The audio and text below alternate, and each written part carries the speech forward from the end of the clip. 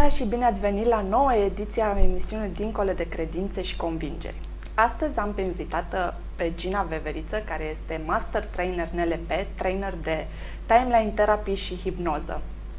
Uh, subiectul de la emisiunea de astăzi va fi integrarea conștient cu subconștient. Bine ai venit, Gina! Bine te-am găsit! Mulțumesc pentru invitație, Claudia! Mulțumim că ai acceptat să vii! Uh, ca și primă întrebare despre acest subiect, care ar fi atributele minții conștiente cu mintea subconștientă, Gina? Da, este o întrebare foarte importantă pe care fiecare dintre noi e bine să ne punem la un moment dat. Pentru că nu odată, probabil că fiecare dintre noi și-a pus întrebarea când să folosim mintea conștientă, când să o folosim pe cea subconștientă, nu-i așa? Exact. Și oare cum de s-a întâmplat că cele două nu mai funcționează împreună și asta ar putea să fie o întrebare la care că probabil că uh, vom găsi răspunsul pe parcursul emisiunii de astăzi. Și să începem cu atributele minții conștiente și cele subconștiente și am să le spun în paralel pentru că este mai interesant să facem Să comparația. observăm diferențele să observăm, direct. Da. Aș spune că mintea conștientă este undeva 5% din întregul minții noastre, iar mintea subconștientă 95%. Wow! Da. Mintea conștientă este cea cu care gândim. Mintea subconștientă este cea cu care simțim. Mintea conștientă funcționează după principiile fizicii newtoniene, adică face lucrurile secvențial, unul câte unul, rând pe rând. Mintea subconștientă funcționează după principiile fizicii cuantice, adică face totul simultan. Mintea subconștientă face diferența între interior și exterior, între mine și tine. Mintea subconștientă ia totul ca un întreg.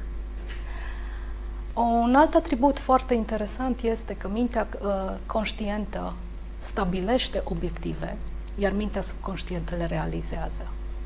De aceea este bine de știut că avem nevoie de amândouă și să le folosim, așa cum am spus în titlul emisiunii, să le folosim în mod integrat. Deci să integrăm cele două părți pentru a produce rezultate mult mai bune decât cu Exact. una singură, care avem noi impresia că o folosim mai mult, dar nu e Ex- chiar așa. Exact, exact. Și interesant este că ele la început, adică mintea conștientă se formează în viața unui om undeva pe la vârsta de 4-5 ani a, a unui copil. Da, până atunci copilul funcționează în mod uh, subconștient. Uh, creierul unui copil este ca un burete care absorbe informația fără să poată să aibă discernământ. Adică fără să știe dacă lucrurile sunt bune sau sunt, sunt corecte sau greșite, ele pur și simplu sunt.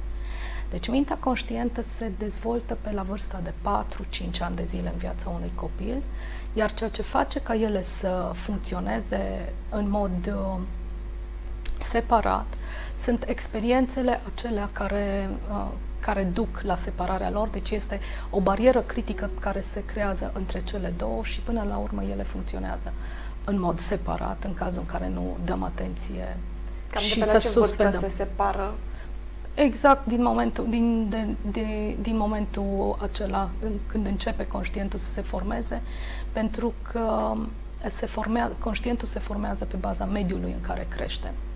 Da, pe baza valorilor în care creștem și valorilor familiei, valorilor uh, școlii, filmelor la care ne uităm.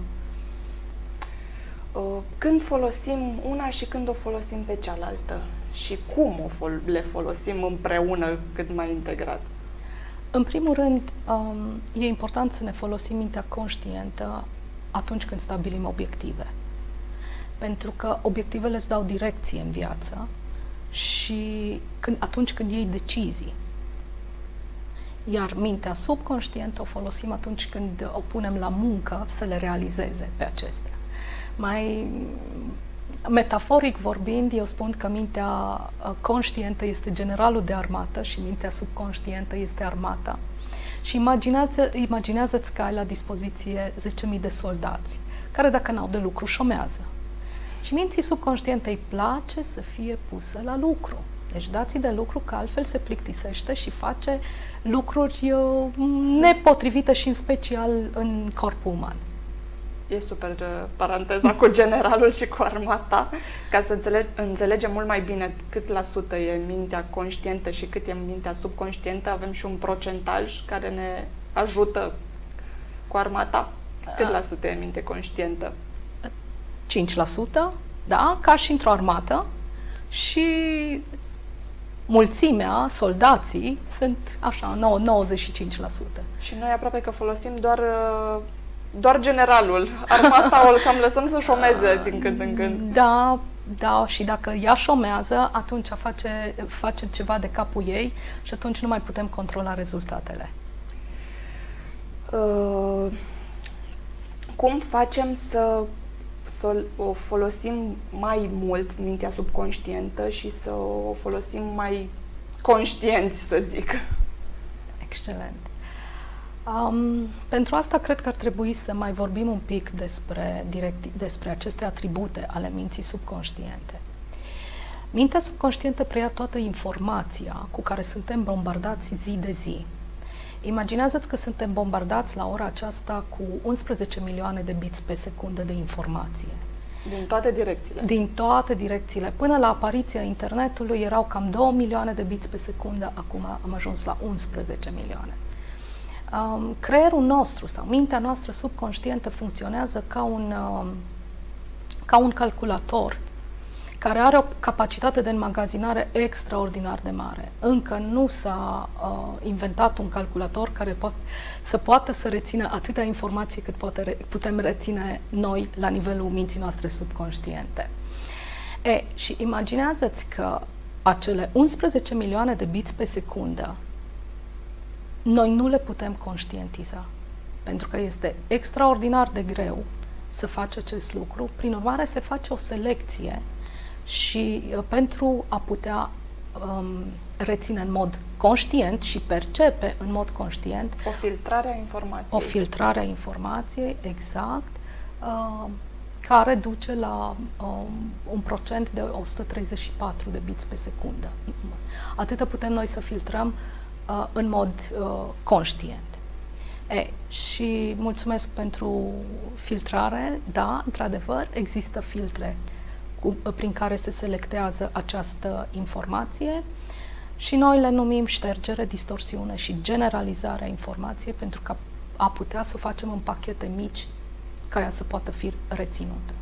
Deci aceste filtre sunt în funcție de experiențele noastre în funcție de ce am trăit înainte, ștergem, distorsionăm sau generalizăm încât uh, în viitor acționăm în funcție de aceste filtre. Da, și pe baza experiențelor mai este, am mai putea vorbi aici și despre metaprograme. Deci aceste care nu sunt legate de experiență, ele sunt lipsite de conținut și se pare că metaprogramele definesc anumite stări ale oamenilor, adică poate că de câteva din ele știi și tu, este vorba de metaprogram introvert, extrovert, um, judecător, perceptor, sunt 19 metaprograme uh, la care, despre care noi discutăm și le analizăm la nivel de master. Frumusețea este că atunci când uh, descoperi NLP-ul și începi să-l practici, poți să-ți selectezi acei 134 de bits pe secundă pe care să-i folosești. Și asta este fantastic. Cum? Cum selectăm acea informație? În primul rând devenind mai conștienți.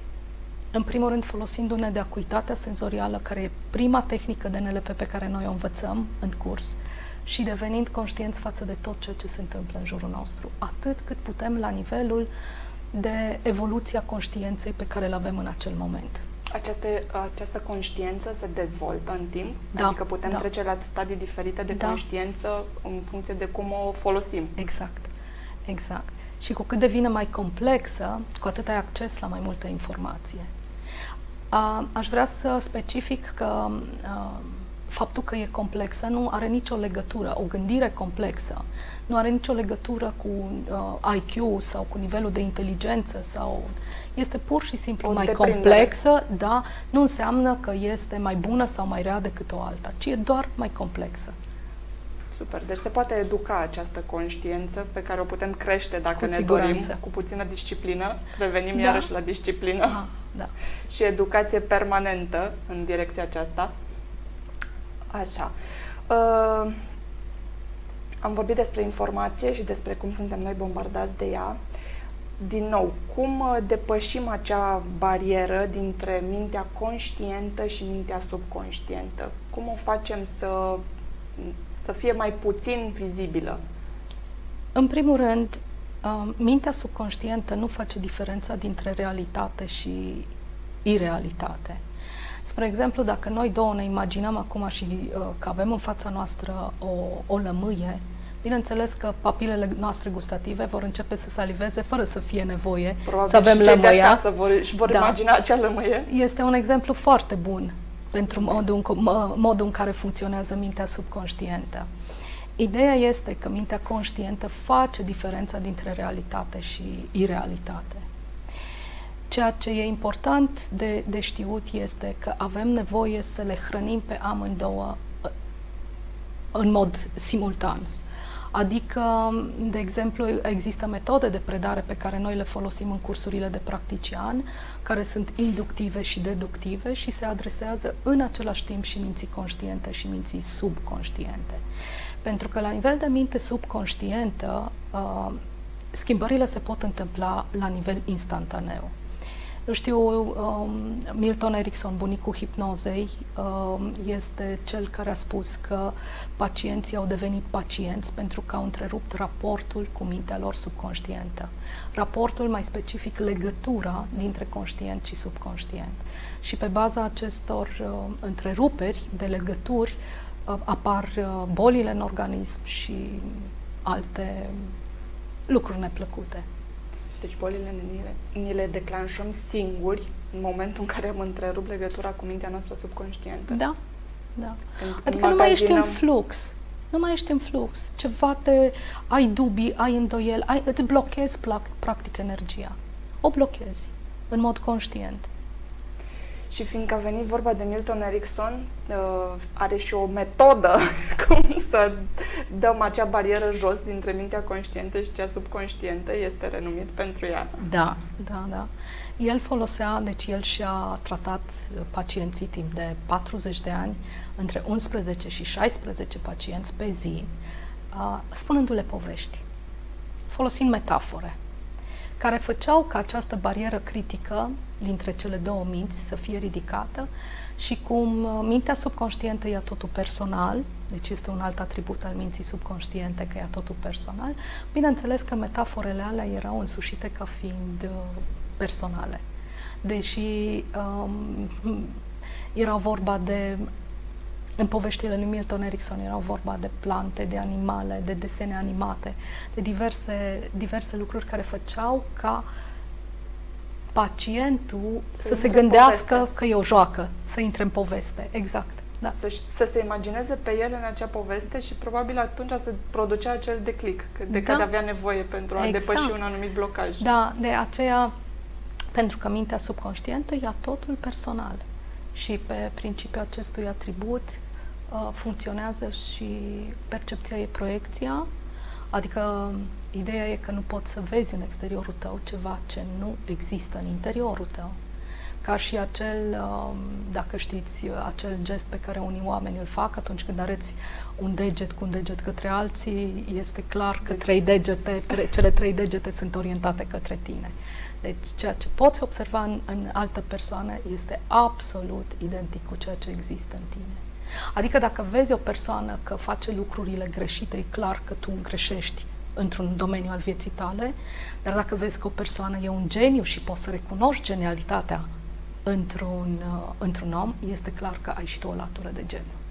Dacă îți dai seama că proiectezi, aceast, uh, proiectezi chestii care pot, probabil nu sunt foarte conștiente, din moment ce devii mai conștient și îți dai seama că tot ce percepi tu și proiectezi în exteriorul tău, uh, poate nu sunt cele mai bune rezultate din uh, această experiență, uh, cum putem face să transformăm această proiecție?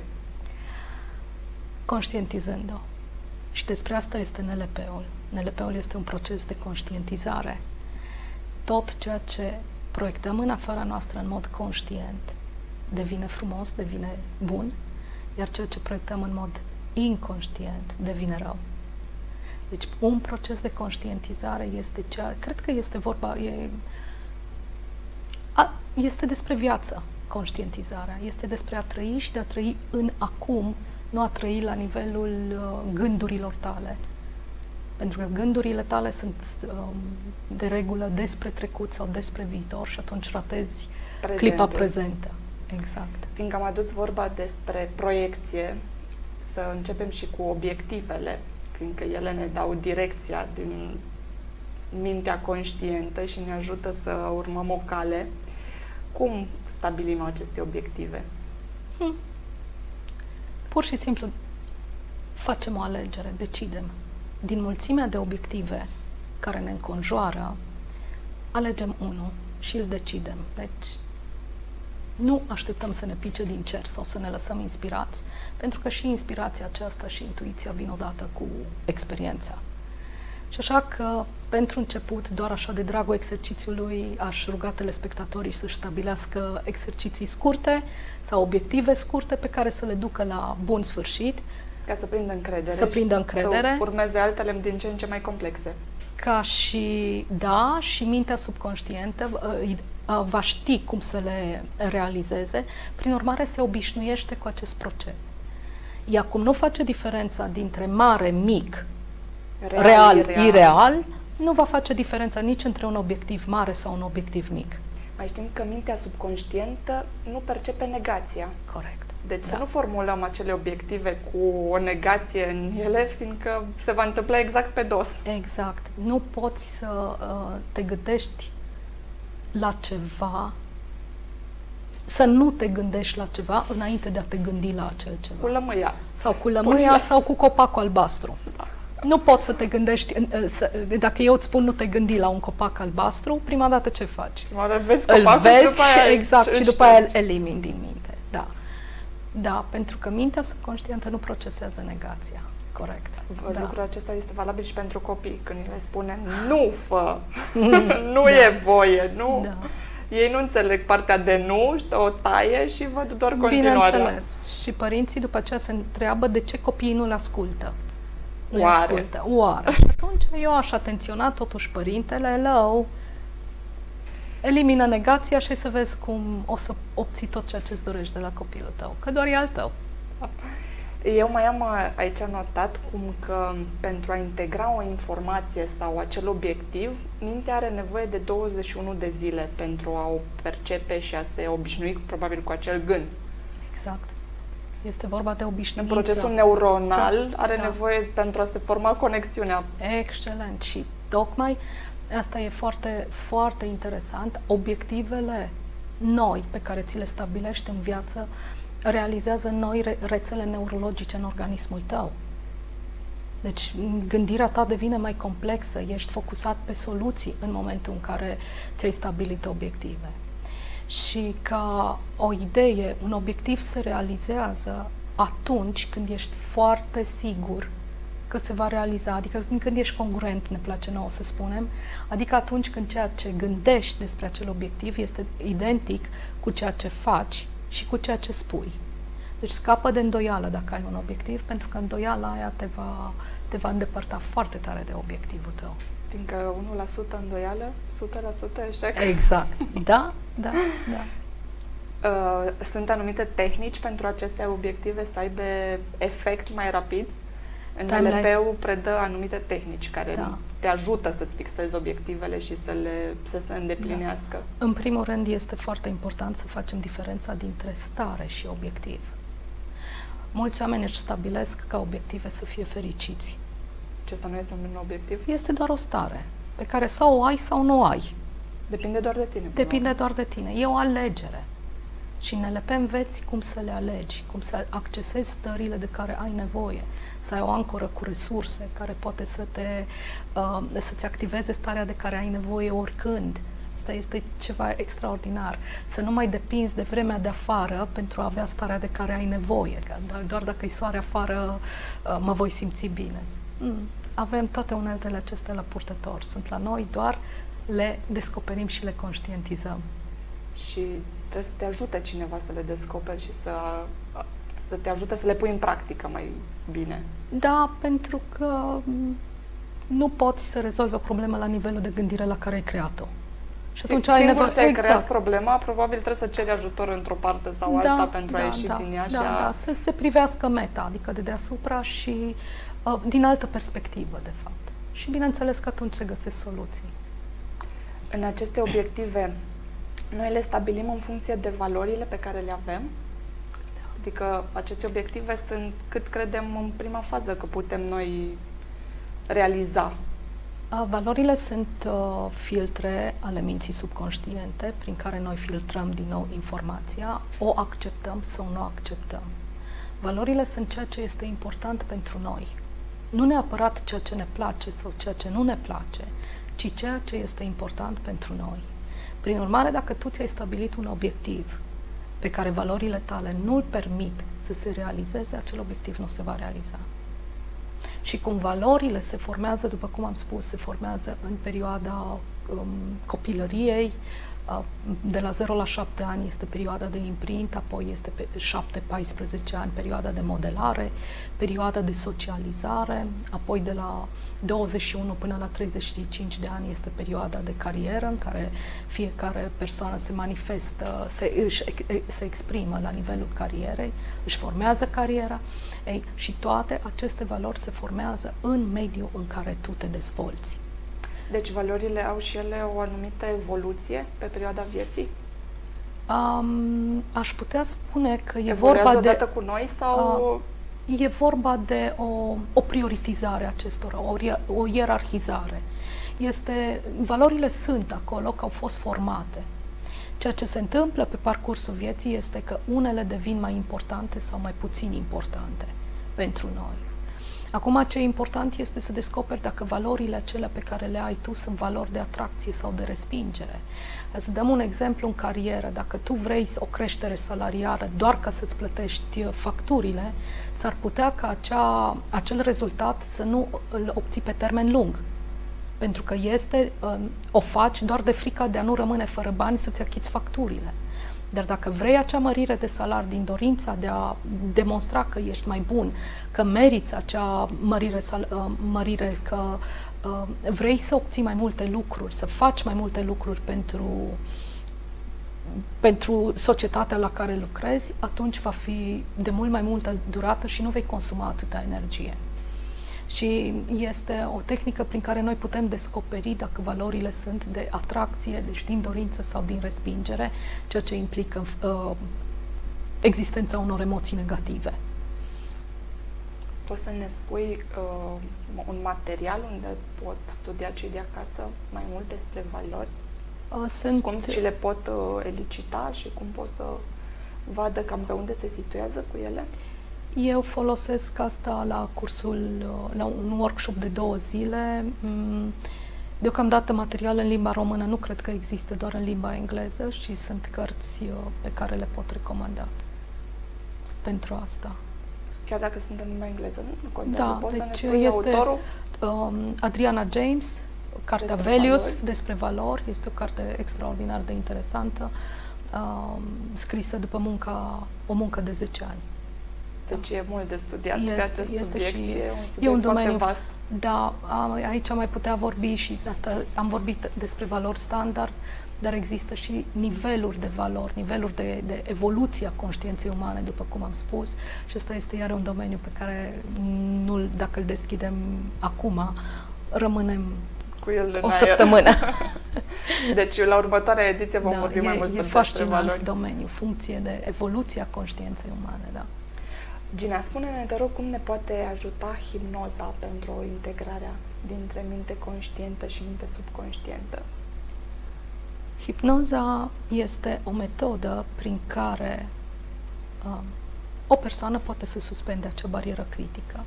Intră într-o un specialist. Un specialist. Ghidat de un specialist să îl da. poate ajuta să suspende bariera. Da. Și bineînțeles că atunci uh, sugestiile pe care hipnoterapeutul le dă um, persoanei respectivă, ajung direct la mintea subconștientă, care este acolo să te servească.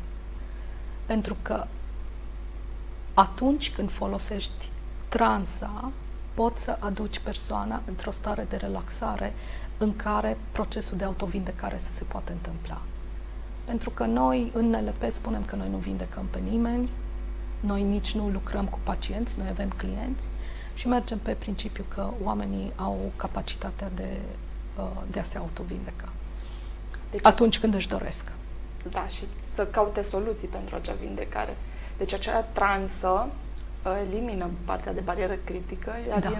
sugestiile oferite atunci merg direct în subconștient. Exact. Iar transformarea va fi mult mai ușoară pentru a, se, a produce rezultate decât dacă ar fi doar la mintea conștientă. Da, de aceea Milton Erickson recomandă că atunci când vorbești cu o persoană în stare trează, să folosești sugestii indirecte, tocmai pentru a bypassa acea barieră critică, deci pe, pe, pentru a ocoli, iar când uh, persoana este în stare de trans, atunci poți să dai sugestii directe.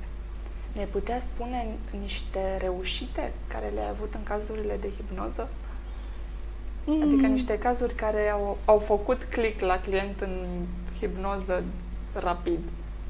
Uh, Totuși, hipnoza este un instrument care ne ajută să eliminăm da. anumite da. blocaje care le avem. Da, absolut, da. Uh, am, am folosit-o de, de nenumărate ori. În diverse situații? În diverse situații, da. În primul rând, ca să relaxez modelul lumii clientului și pentru a, a-l scoate uh, din transa problemei lui. Pentru că cli, uh, clientul atunci când are o problemă, el este în transa problemei cu care vine. Pentru adică a putea, vede doar vede, problema exact, exact, și nu exact, poate să exact, privească exact. din meta, cum ai spus da, mai da, devreme, da. să vadă ansamblu situației. Exact. Și atunci rolul meu este să-l scot din transa problemei lui și să-l aduc în transa mea, tocmai pentru a-l ajuta să depășească această stare fără resurse pe care o are. Și o fac uh, de, de multe ori, mai ales în sesiunile de coaching și atunci când predau, o fac pentru ca informația să ajungă direct la mintea subconștientă. Este foarte interesant modelul de predat cu hipnoză. E o experiență unică care cred că fiecare ar trebui să o aibă măcar o dată, cu toate că pentru mulți dintre cei de acasă hipnoza sună buhuhu, nu e chiar așa, să știți. Am, am testat-o pe propria mea piele și știu ce înseamnă și nu, nu e cum se spune că se întâmplă în eu recomand tuturor persoanelor care au uh, îndoieli despre ceea ce face hipnoza să se informeze și să-și facă o părere personală. Am recomandat chiar unei absolvente de al mele care a avut uh, dubii vis-a-vis de ceea ce face hipnoza. I-am recomandat uh, să găsească 20 de pro și 20 de cont pentru hipnoză. Și a găsit 20 pro și cons cam puține. A fost, a fost, m-am bucurat pentru că am rugat-o, chiar i-am recomandat să, uh, să fie decizia ei dacă va folosi sau nu ceea ce a învățat la curs. Și m-am bucurat că și-a făcut temele foarte bine. Deci a căutat acei da, contra da, da, pentru... pentru că a fost temă. I-am dat eu temă și a, am rugat-o să mi-o trimită. Ai pus-o să-ți demonstreze că nu se poate? Da, da, da. da, da, da. E, e o, o metodă, da. da. E o metodă de a face oamenii să treacă la acțiune. Pentru că tot ce vorbim noi aici, fără acțiune, este, este zero. zero.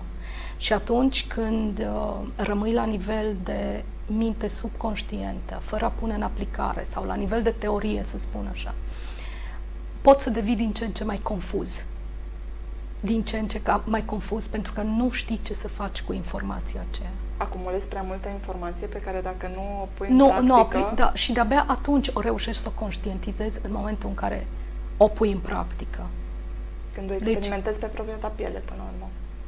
Da, Să vezi ce absolut, înseamnă acea da. informație pe tine. Uite, Claudia, magia în lumea aceasta nu e să faci lucrurile să dispară. e să le faci să apară prin acțiune. De la nivel de idee să le aduci în realitate, în, în câmpul fizic. Deci Aici, de în realitate, pe pământ. Stabilit. De obiectiv, de idee, da, de gânduri. Transformă-l în ceva concret, palpabil. De aceea, una din recomandările mele este, până mintea subconștientă se obișnuiește, uh, să, să-ți scrii obiectivele și să le scrii cu mâna, dacă se poate, pentru că îi, efectiv îi dai materie îi dai substanță acelei idei. E o metaforă foarte frumoasă. O transpui plus, în realitate prin scris, da, în plus, prima fază. Exact. Plus că e vorba de... A, și gândul acela are, începe să aibă substanță, să aibă greutate. Pentru că e prea ușor Ba mai mult, la nivel de minte subconștientă, cum gândurile circulă foarte, foarte, foarte rapid. Și sunt multe și, și deodată. sunt multe și subconștientul, uh, mintea subconștientă funcționează în imagini și în simboluri. Am spus mai devreme că uh, uh, este simbolică. Uh, are nevoie de simboluri.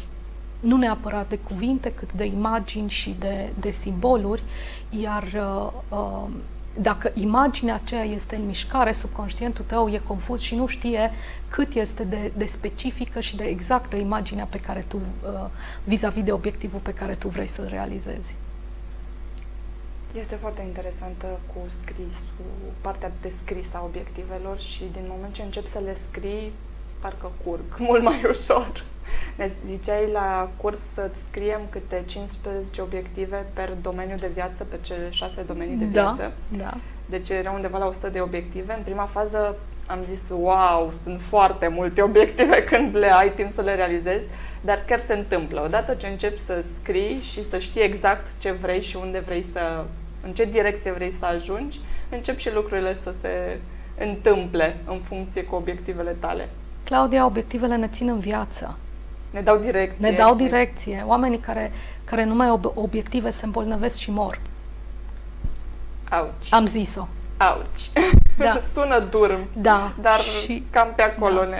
Știi, noi în NLP avem, uh, spunem, avem o vorbă că noi avem compasiune față de oameni, dar nu avem compasiune față de problemele oamenilor. Deci nu lăsăm omul mm, să rămână nu. în acea problemă și, care nu-l servește exact, și nu-l ajută și să nu crească. întreținem comportamentul.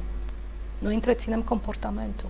Dacă cineva vrea să, să iasă din situație, sunt alături imediat, dar dacă vrea să-și întrețină problema, nu, magă, nu, nu are, are succes la mine. Deci e nevoie să, să și ceară ajutorul, să conștientizeze că are o problemă și, și să ceară ajutorul. Și mai e nevoie să ne convingă pe noi, cei din branșa NLP-ului, să ne convingă că vrea să obțină rezultate.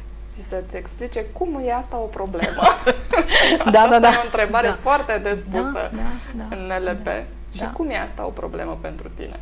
Da, pentru care că... la un moment dat produce acel click de care ai nevoie. Pentru că uh, ajungi să pur și simplu doar să folosești cuvântul problemă fără să te mai gândești la el. Am o problemă, ok. Și când întrebi în mod specific cum e asta o problemă, de fapt e o întrebare pe care nu și-a pus-o niciodată.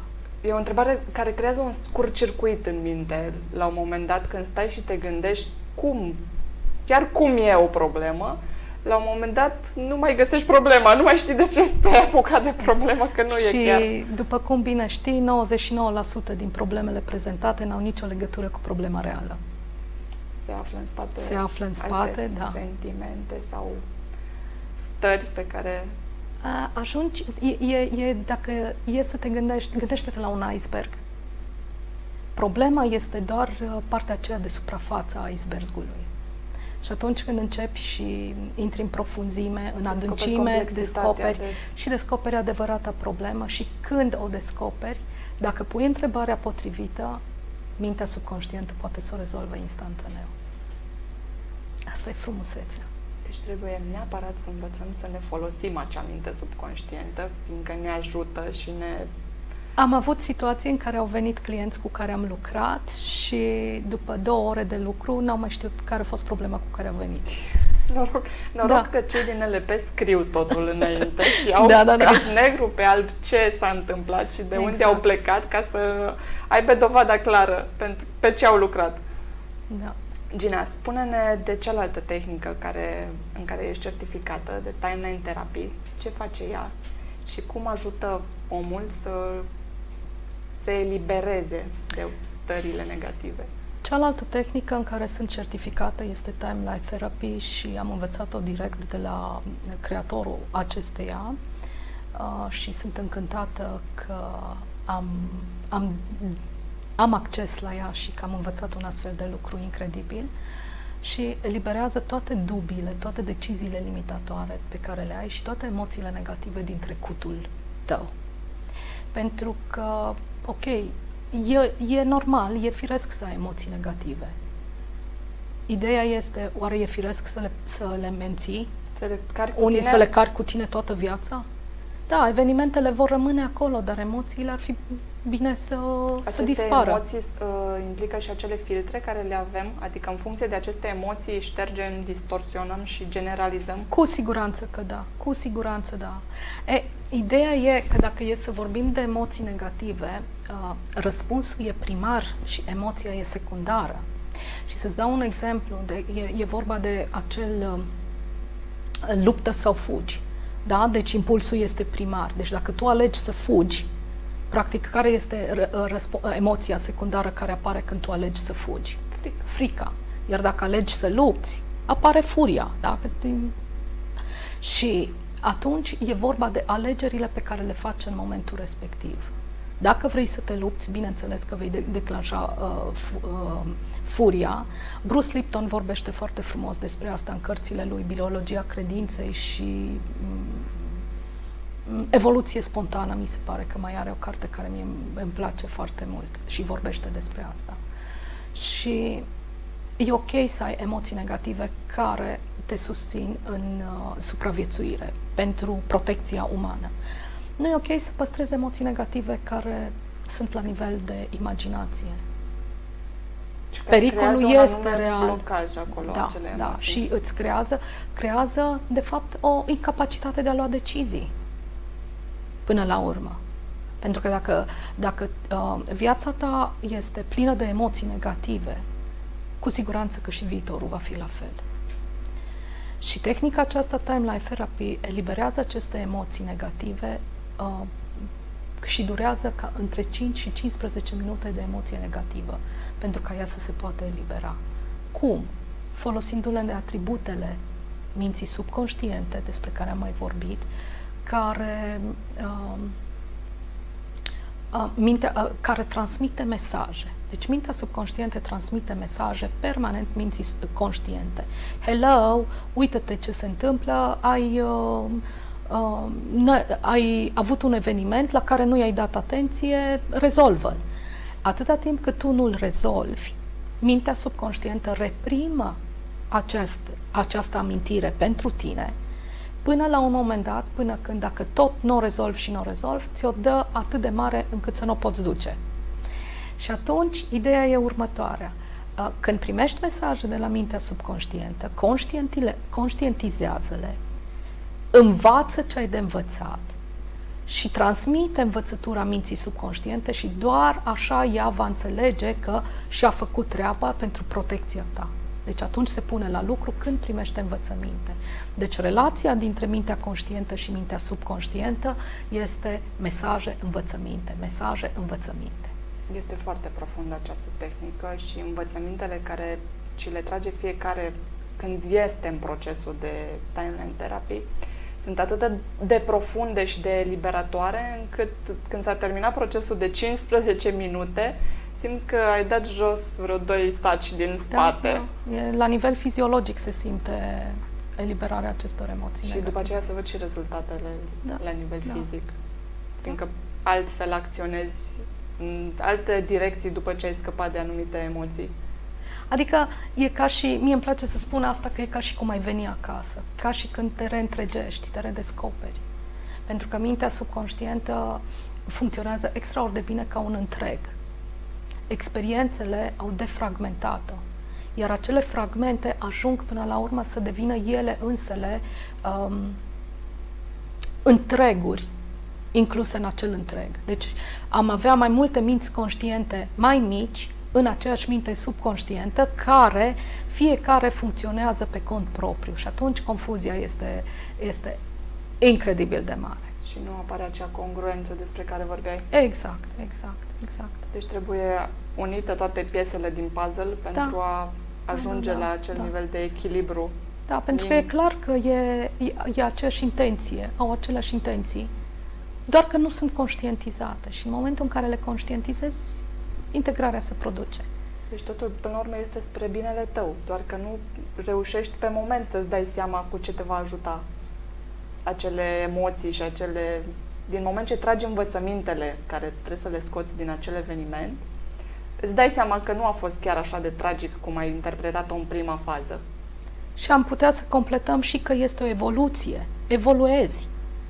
Practic ți-ai învățat lecția, Ai mergi mai trecut departe. Peste eveniment și nu-l mai ții în dulap Hai stele. să, să, să vorbim despre vinovăție, de exemplu, că e, e o, m, Comună. o emoție negativă comună care apare la mulți oameni. Da. Cu ce te ajută vinovăția?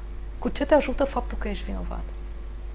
Nu te prea ajută. Păi da, că, practic vinovăția te ține blocat. Nici nu mergi mai departe, nici n-ai nicio soluție și rămâi blocat în acea stare. Deci e o emoție prin care te autosabotezi. Da, sigur. Odată ce ai scăpat de ea, Ca majoritatea. rachetă. Da, ca majoritatea emoțiilor negative. Deci n- atunci când le eliberezi, asta nu înseamnă că nu o să le mai ai niciodată. Doar că e, sunt bune atâta timp cât tu înțelegi că e un mesaj pe care îl primești din partea minții subconștiente. După aceea, ce rost are să le mai păstrezi o viață întreagă, poate și generații următoare, Să le transmiți, să le mai transmiți mai departe. Da. copiilor, da. că nu știi ce să faci tu cu ale tale. Da, da. Influențăm uh, foarte mult uh, următoarele generații din emoțiile Și- noastre. Și fără să o transmitem verbal, ci doar prin comportament. E suficient. E Și prea atunci, mult. haide, dacă tot am vorbit de atracție și respingere, ce ar fi să eliberăm emoțiile negative doar așa ca să nu le mai transmitem mai departe și celorlalte Să generații? nu ne gândim că o facem pentru noi, o facem Da. totuși pentru copiii Da, da, noștri, da, dacă da. nu putem doar pentru noi. Oh, sunt de acord și cu varianta asta. Gina, fiindcă am vorbit despre minte conștientă, minte subconștientă, mai există și altceva în afară de cele două? Putea să vorbim și de mintea supraconștientă. Wow! Da, pentru că aici este vorba de acea parte spirituală la care noi putem avea acces. Ceea ce este foarte interesant este că, da, există o legătură între conștient și subconștient, acea pe care am spus prin mesaje, prin uh, Învățăminte. și învățăminte. Există o legătură între subconștient și supraconștient. Nu există legătură între conștient și supraconștient. E, și aici e arta. Cum faci ca această legătură să existe? Pentru că, da, informația vine ca o ploaie. Vine ca o ploaie, dar nu există legătură între ele. Și Se tu poate când îți... crea acea legătură? Da, da. Cu cât devii mai conștient, mai prezent și gândirea ta e mai complexă, cu atâta poți să ai acces la informația aceea. Pentru că toate trei se, se toate cele trei minți de care noi am vorbit acum uh, sunt susținute de corpul fizic. Da. Și e important să poți să ai acces la fiecare din ele. Pentru ca tu să fii acea persoană congruentă de care spuneam. Adică să, să fii tu, să-ți redescoperi sufletul. Că asta, a, asta cred eu că noi căutăm fiecare dintre noi. Este foarte interesant cu mintea supraconștientă și Da. cum ne transmite informații pe care Asta noi e nu informație- reușim să o primim, fiindcă nu suntem conectați de fapt la ea. Da. A, ne poți spune să ne în- îndrumi cam pe unde ar fi mai mult decât prin prezență și conștientizarea În primul rând, prin, uh, eu spun, uh, tot o metaforă, în primul rând prin a face pace cu trecutul.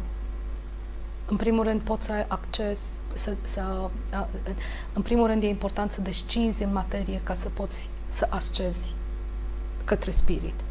Spuneam puțin mai devreme că atâta timp cât tu, ne, nu, tu nu descinzi în materie și rămâi la nivelul, la nivel um, de mm, inconștient și supraconștient și te joci prin cele, între cele două, poți să devii confuz. Și în primul rând asta e de făcut, să descinzi în materie ca să poți să ai acces la spirit. pace cu trecutul însemnând uh, ce? În afară de a elibera acele emoții despre care am vorbit. Și a, a, a căuta noi resurse pentru a ajunge acolo unde îți dorești. Deci să nu mai trăim cu gândul la ce a fost, t- trăim în prezent și căutăm soluții pentru ce va fi. Exact, exact. Asta înseamnă evoluție. Acceptăm Da, ce a pentru fost că în iei trecut. decizii pe baza experiențelor pe care le-ai făcut în trecutul tău. Și asta înseamnă undeva ajungi să repeți istoria. Să repeți aceleași lucruri. Te învârți într-un cerc din care nu mai ieși. Da, da. Și încerci în continuu. Încerci, da, da, da. să ieși Da, din cerc, dar exact. nu-ți prea iasă. Da. Da, doar pentru că încerci. Cum, cum facem să nu mai încercăm? Conștientizăm Cum? și acționăm. Acționăm. Acționăm. Pentru telespectatori aș transmite că unul din lucrurile cele mai importante pentru a crește stima de sine și a scăpa de acele blocaje din trecut este să acționezi și să faci lucruri pe care să le duci la bun sfârșit. Tu, de unul singur. Crește stima de sine foarte tare. Atunci când ai un proiect, ți-l alegi și faci totul ca să-l realizezi. Și ca sugestie, atunci când ți-ai stabilit un obiectiv sau un proiect, elimina întrebarea oare se poate, oare nu se poate și înlocuiește-o cu uh, întrebarea cum pot să fac să se întâmple. Această, această întrebare chiar produce rezultate. Da. Mie îmi place să spun că în, aceast, în acest moment, când obiectivul tău este foarte ferm și tu ești determinat, Universul conspiră alături de tine ca tu să obții acel de, uh, deci rezultat. Deci acel supraconștient vine în uh, ajutor ca să te ajute să, da. să depășești da. Acel nivel. Super. Uh, cum ar... Cum o, o, o sugestie de final, dacă ai avea pentru telespectatori, fiindcă nu mai avem foarte mult timp din această emisiune și ce să facă concret pentru a produce acea integrare dintre conștient și subconștient și a-i ajuta să evolueze? În primul rând, cred că aș începe prin a le recomanda să facă un bilanț. Să vadă în ce fază a vieții, a vieții sunt fiecare dintre ei, să facă un istoric personal, să-i spun așa, în care să fac o listă cu evenimentele care au fost uh, marcante pentru ei, după care să le conștientizeze, să le confrunte mai specific, pentru că o problemă amânată nu înseamnă că este și rezolvată, le confrunte, să-și învețe lecția și după aceea să-și stabilească obiective pe care să le realizeze.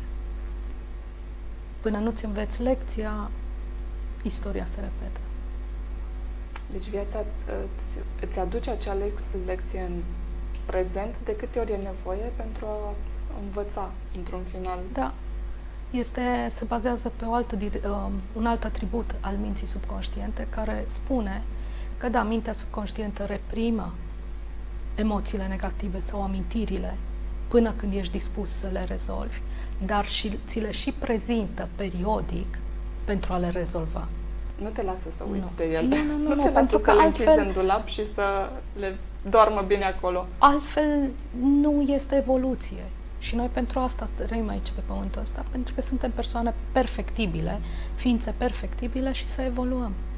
Ai avea o sugestie și pentru acele obiective, în afară de a le scrie, a le trăi într-un anume fel sau a pune un, anumit, un anume sentiment în ele ca să se materializeze cât mai repede? Noi la cursurile noastre folosim tehnica The Secret of Creating Your Future, care este marca înregistrată și în afară de a-l stabili și un obiectivul sau obiectivele de a le face smart, adică deștepte, sau uh, probabil că majoritatea telespectatorilor vor ști la ce mă refer, um, se pot insera în viitor pe linia timpului care, pe care fiecare dintre noi o avem la nivelul minții noastre subconștiente. Și tehnica aceasta este din nou foarte profundă, profundă și, după cum știi, dă rezultate uh, garantate atâta timp cât tu ai, ești 100% convins că îți dorește acel obiectiv. Și nu există acel 1% de îndoială da. care să-ți saboteze obiectivul? Da. Dacă există acel 1% îndoială, se poate scăpa de el prin tehnica Timeline Therapy. Îndoiala, de fapt, înseamnă decizii limitatoare și pune-te, atunci când ți-ai stabilit un obiectiv, pune-te la cauză pentru realizarea lui. Adică obiectivul tău să fie realizat de tine și să de, realizarea lui să depindă de tine. Super! Mulțumim mult, Gina! A fost o emisiune, sperăm, cu multe învățăminte și pentru noi și pentru cei de acasă. Sperăm să mai vii să dezbatem un alt subiect de NLP, care este o știință foarte complexă și care te ajută să vezi dincolo de ceea ce pare la prima vedere, care îți oferă o altă perspectivă asupra vieții și care te propulsează spre un nivel superior de conștientizare. Mulțumesc mult, Gina, atât Mulțumesc. pentru astăzi. Ne vedem lunea viitoare la ora 9. Eu sunt Claudia Bircaș. Aceasta a fost emisiunea Dincolo de Credințe și Convingeri.